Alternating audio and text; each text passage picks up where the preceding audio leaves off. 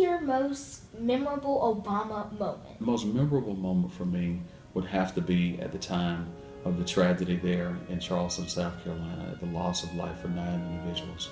These are neighbors, family members, pastors, leaders in our community.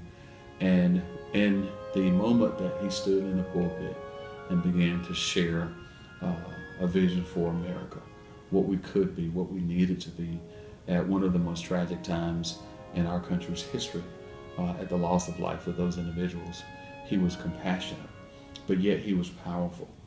One of the most memorable moments that I have of President Obama is with him playing with the children. Whether Obama was playing with the children in the Oval Office or if he was playing at one of the functions that he had, he always took time out to mention and to see the children. Another one of my favorite moments is when he did the fist bump with a custodian at the Eisenhower building. He not only paid attention to those that were high in office, but he also paid attention to those that put him in office. And my most memorable Obama moment was in 2015 when he was giving his speech in front of the Edmund Pettus Bridge. He said, We must honor those who walked so we could run, and we must run so our children soar.